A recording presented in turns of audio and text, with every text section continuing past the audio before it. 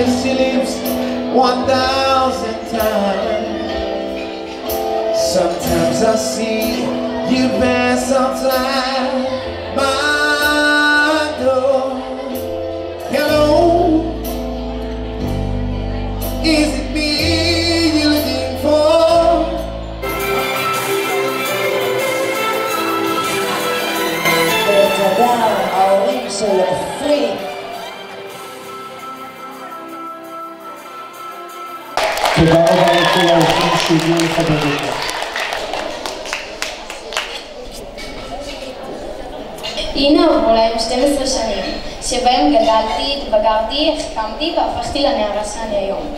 הילדות רצה וחלפה, והבגרות כבר מגיעה. בין הילדה המתבגרת אני מנסה למצוא את ההבדל ואני לא כל כך מצליחה, כי זה די מבלבל. יש כאלה הטוענים שאני ממש בוגרת, ויש כאלה שקצת קשה להם אותי לתאר. עוד בקשה יחידה, תהנו מהמשך המסיבה. משהו, איפה מחיאות